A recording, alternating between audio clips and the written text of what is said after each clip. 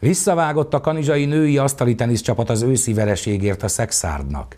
Az NB1-es összevont bajnokság hétvégi mérkőzésén mindkét hazai páros magabiztos győzelmet aratott, és egyéniben is remekeltek a kanizsaiak. A végeredmény így 14-4 lett. A lányok edzője Jakab Fémre elégedett a játékosok idei teljesítményével. Januárban az őszi idényből visszamaradt négy mérkőzés közül hármat megnyertek és egyet döntetlenre hoztak, a tavaszi szezon első két fordulójában pedig szintén kiváló formában voltak, aminek meg is lett az eredménye.